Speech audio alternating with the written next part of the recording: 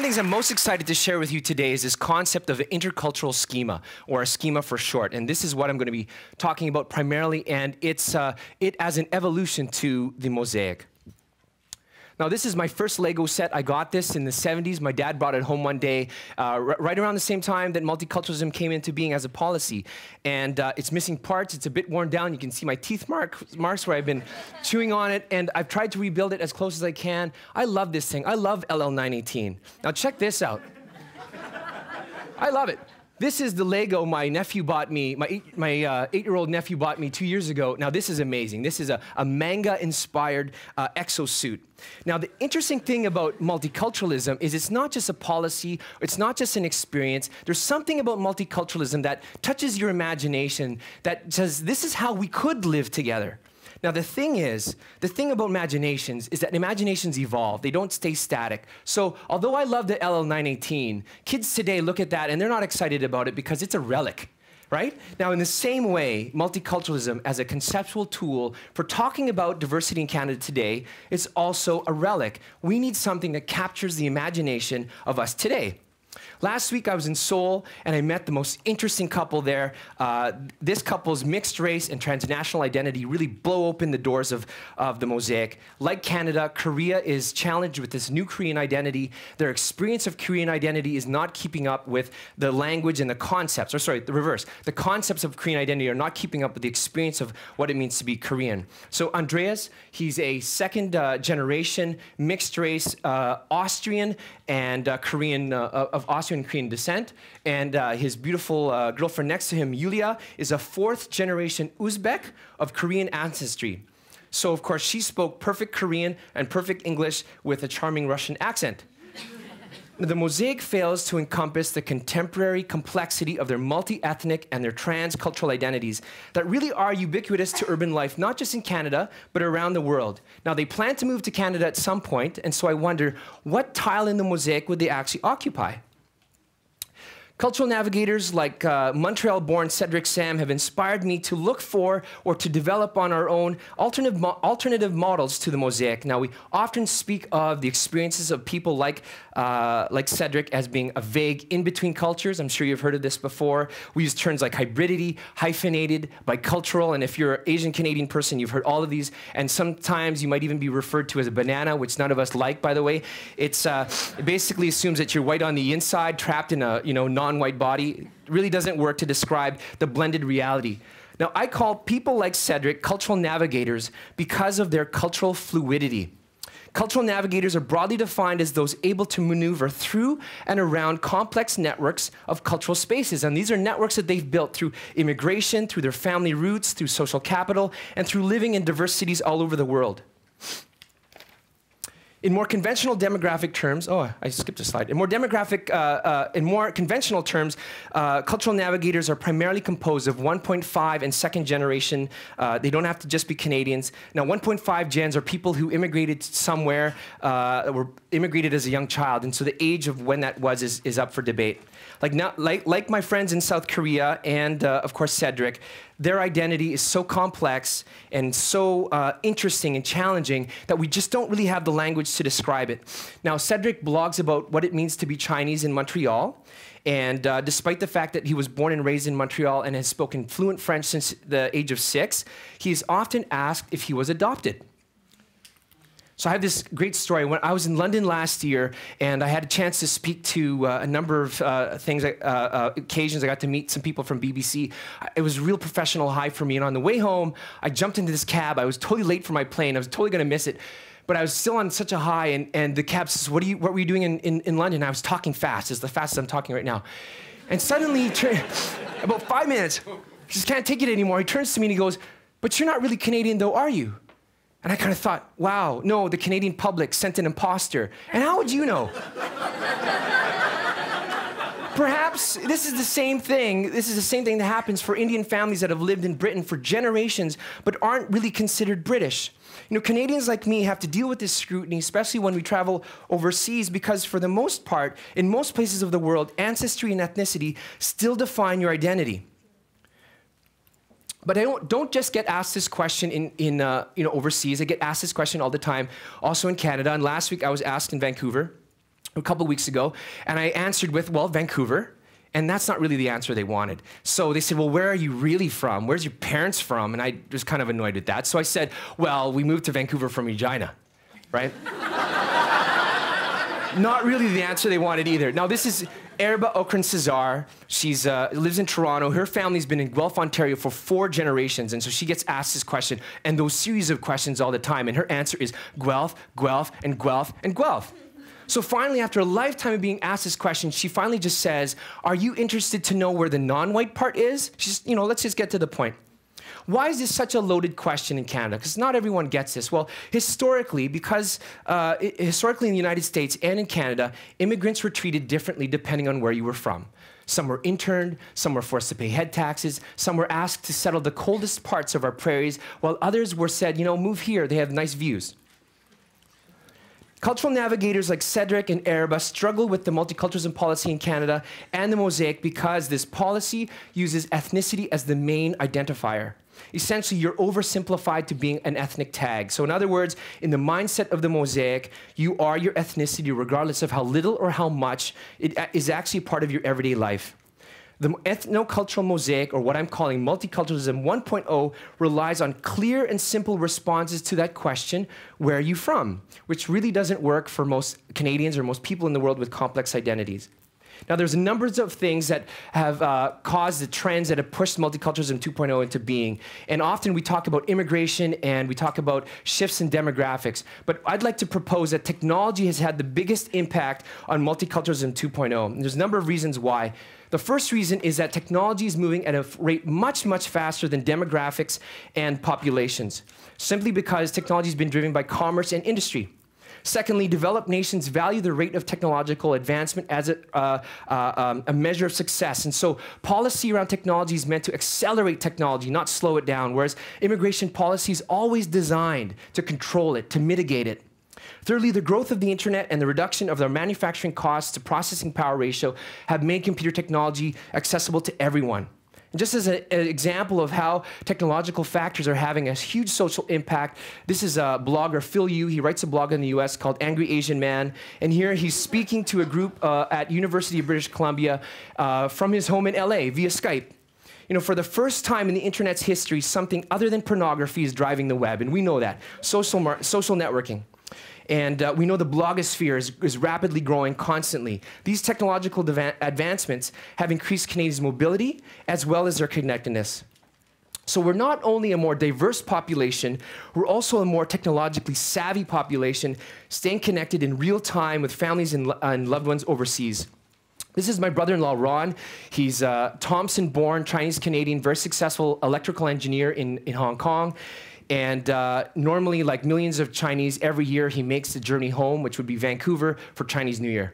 This particular year, he decided he would spend Chinese New Year in Hong Kong, and so he joined us via broadband. And uh, he had pizza uh, while we had Chinese food, and uh, you know, he's just, it, it, seemed like he was there. And after the meal, his mom came up to him and started nagging about when he was going to get married, and his dad had stock tips for him it was like he was there. And you know, this technology has let, helped Canadians, whether they're living abroad or in Canada, connect with the news, the culture, and the interests of their countries of origin. In 2003, Ipsos Reid uh, made this, did this really great study for the Center for Research and Information on Canada and the Globe and Mail. One of the things that they found was that 1.5 gens and second gens have an incredible sense of social, cultural, and uh, economic mobility. Now, they're important to multiculturalism 2.0 because these generations are a natural bridge between immigrant communities and what we would consider mainstream North America. They're affluent and they're well connected and they're innovators. And you might recognize this 1.5 gen, Steve Chen, he's the co founder of YouTube. The second thing was the study showed that Canadians uh, have, a huge, have made a huge shift in the attitudes towards ethnicity. When asked how important ethnic background was when choosing a spouse, what they'd said was it was the, the, the, the least important thing. The most important thing, as you'll see, is attitudes towards family and morals. Now, this is really important because we take this for granted in the US and in Canada, but for many countries in Europe and in Asia, ancestry still determines your identity. And uh, this is important because often where xenophobia will organically manifest itself is within families at the advent of an interracial marriage. About five years ago, I gave a, a, talk to a group at Simon Fraser University, a very mixed group, and um, I started the presentation by saying, How many here had been in or are in right now a mixed race relationship? And to my surprise, every student raised their hand. So I thought, okay, I'll push this further. How many here are okay with having a mixed race child? And again, every student raised their hand. Now, that day I had an ESL student uh, from an East Asian country, and she was sitting next to me. And you can kind of see her in a pink shirt. And out of the corner of my eye, I saw her frozen in terror at this question. So after the presentation, I apologized and I said, I'm really sorry. I had no idea this would make you uncomfortable. And then she confesses to me that she was mortified at the thought of having, of not having a pure child. A few years later, I gave this, I told this story in Kuala Lumpur to a group of broadcasters, and I asked them, which Asian Pacific country do you think she was from? And there was this weird silence, as every representative of 20 countries thought it was their own.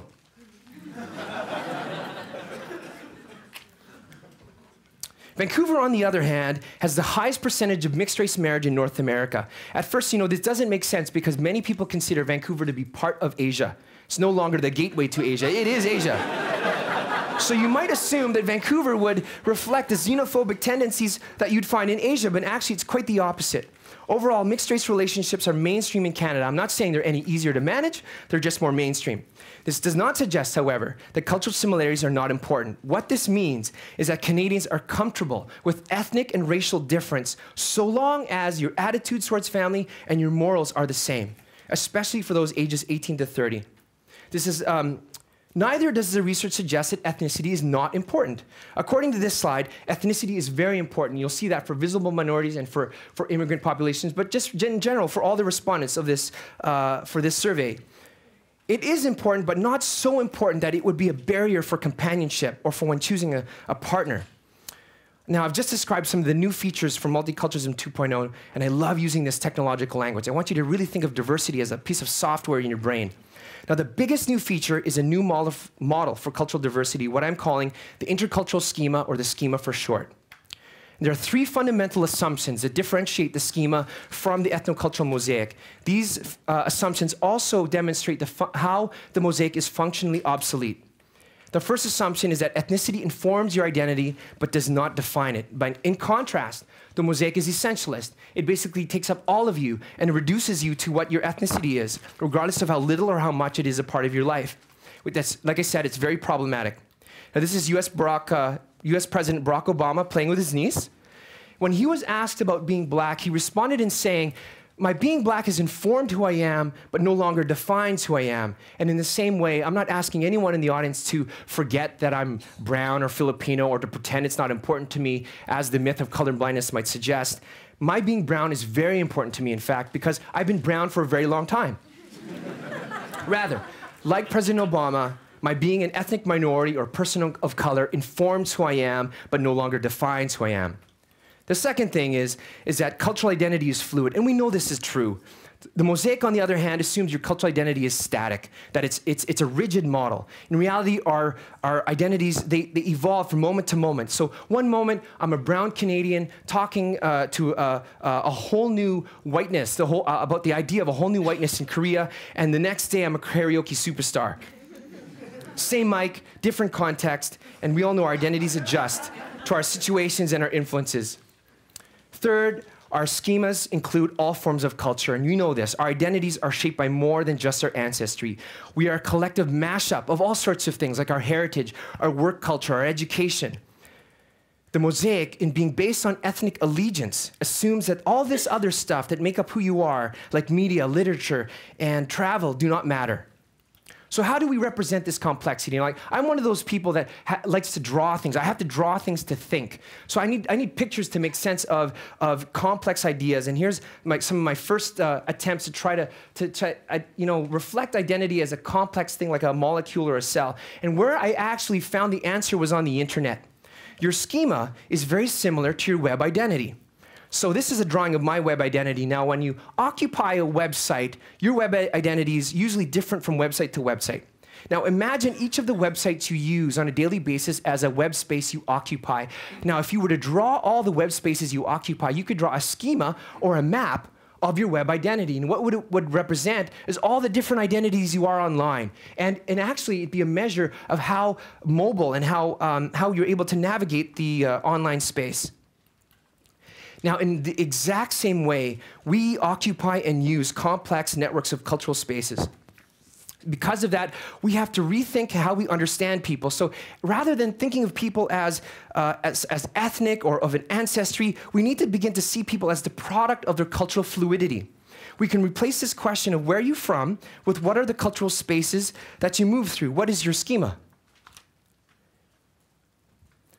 A variety of experiences such as travel, languages, education, marriage, and passions can, can make up your schema. So I'm going to go because I've run out of time. There are three uh, uh, there are three parts to your schema. There's your core. These are the things that are the most fixed, like your ancestry and the places you've lived in the world. Uh, my dad was a pastor, and so the church is a big part of my core. There's the middle section, which is a little more uh, fluid, but it's, it's not entirely fluid. And these are things that don't change very much at all. So my magazine, my work, and all the spaces that they connect me to. And the last area is the most fluid, and it's the outer layer, and uh, these are the things that are changing all the time. So through my speaking, I've had a chance to touch TEDx and PechaKucha and Korea and, uh, and the not-for-profits I'm involved in and the, the things that I'm now uh, uh starting to get passionate about. So this is uh, my first birthday. You know, in the family picture is often a picture or a symbol of harmony. And people might say that this is a, a, a diverse family picture. And I, I, I need to challenge you. This is not a diverse family picture. Everyone in this picture looks the same. This is a diverse family picture.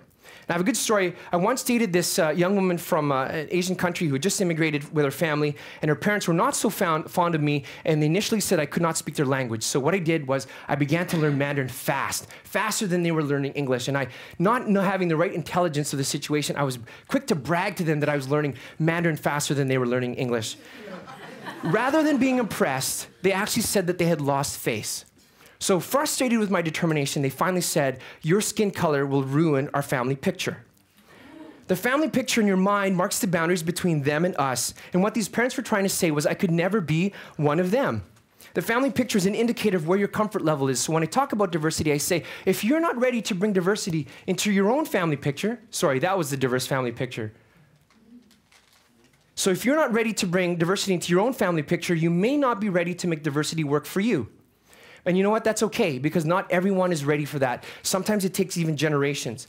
This is my, uh, my cousin uh, Christian and his uh, Japanese wife Naomi. Now, to be honest with you, uh, they met in Japan, and I thought because of the occupation of the Japanese in the Philippines, this could never be possible. And if my grandfather had been alive, that probably would have been the case. Now, multiculturalism has a lot of bugs. It's complicated. Not everyone is ready for the update, and there's still a lot of uh, well hidden xenophobia in Canada. One of my most favorite diversity stories is about Indian women moving into a, a, an elderly care facility that was predominantly white. And despite the fact that there was a lot of tension, they actually found that there was one thing they all had in common. All the women believed that their son had married the wrong woman. now, this picture has nothing to do with that. But simple anecdotes like this remind us that we're all connected. Thank you.